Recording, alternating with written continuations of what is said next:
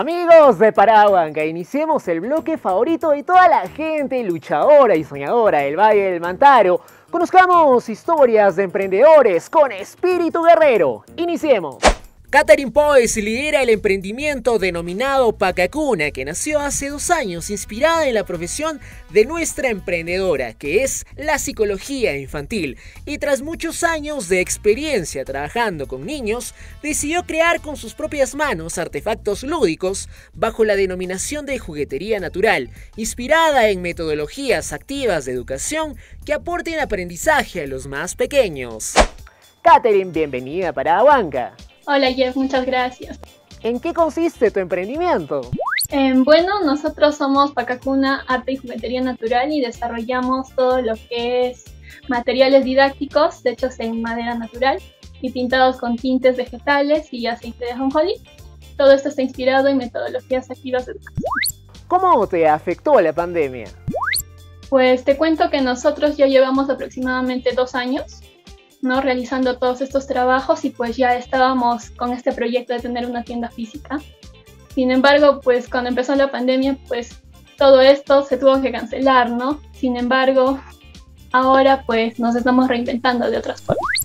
¿Y cómo te vienes reinventando?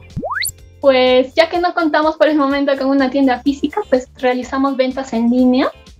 Te cuento que hasta ahora pues nos ha ido muy bien, estamos vendiendo no solo en Huancayo, sino que también nuestros productos han llegado hasta Trujillo, han llegado a la selva, han llegado hasta Arequipa y pronto ya estamos haciendo también exportación. Y antes de continuar, te quiero comentar que algunas películas podemos encontrar la inspiración necesaria para emprender al conocer la vida de gente luchadora que tuvo éxito con su iniciativa. La primera película es Walt el Soñador. Este film relata la historia del célebre Walt Disney antes de que surgiera su personaje icónico Mickey Mouse. En la película se muestra cómo Disney tuvo que afrontar serias dificultades para lograr su sueño en el mundo de la animación. La segunda película, Red Social, nos muestra la historia de Mark Zuckerberg y cómo creó Facebook en su etapa universitaria. También nos muestra cómo tuvo que defender su iniciativa ante las adversidades. Aquí aprenderás cómo se desarrolla una idea de negocio. Y ahora te quiero recomendar una última película llamada Joy. Esta película narra la historia de Joy Mangano, una joven mujer con tres hijos que decide que no va a ser una simple trabajadora durante toda su vida, así que esta emprendedora inventa el trapeador. ¡Increíble! Ahora conozcamos a una chica igual de aguerrida. Astrid Cayupe encarna nuestra última historia. Ella optó, tras mucho tiempo de análisis, elegir el rubro de la venta de prendas de vestir para amas. Entonces invirtió el dinero que venía ahorrando por mucho tiempo, fruto de su trabajo arduo. El sueño era uno solo, salir adelante y tener éxito con su emprendimiento, al que llamó Nefertiri Boutique. Astrid, bienvenida para Banca. Hola, ¿qué tal Jeff? Muy bien, encantada de poder estar en este hermoso programa y hacer conocer mi marca. Astrid, ¿cómo le afectó la pandemia a tu emprendimiento?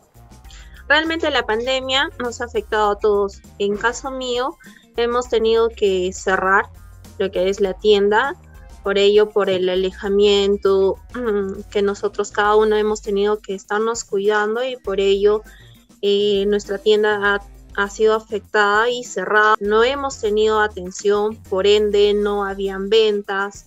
De lo que sí podemos estar seguros es de que en un momento, es un momento histórico, ¿no? Y es nuestra labor asumir una responsabilidad que hasta el momento consiste en mantenerse en aislamiento y seguros. Es un periodo de reflexión, pero también es un tiempo para reorientar nuestras metas y nuestros proyectos, ¿no? ¿Y cómo te reinventaste? Por ello es lo que opté en generar ventas vía online, lo que son por el Facebook, por el, eh, lo que son, eh, perdón, Instagram, creando mi, propia eh, página de, la marca, ¿no? Y así tener ventas sin necesidad de tener una tienda física. ¿Y qué te motiva a nunca rendirte? Realmente tengo un motivo súper poderoso para no rendirme en el camino de la vida y ese motivo es mi hijo llamado Jacob. Y amigos emprendedores, empecemos exitosamente ese 2021. Es momento de demostrar al mundo todos tus productos y servicios para que generes mayores ventas y rentabilidad.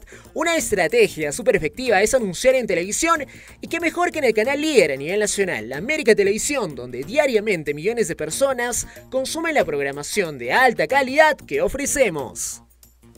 Nosotros los emprendedores saldremos adelante. ¿Y tú, amigo emprendedor, te unas a nuestra lucha? Todos estamos juntos en el firme objetivo de ganarle a la crisis.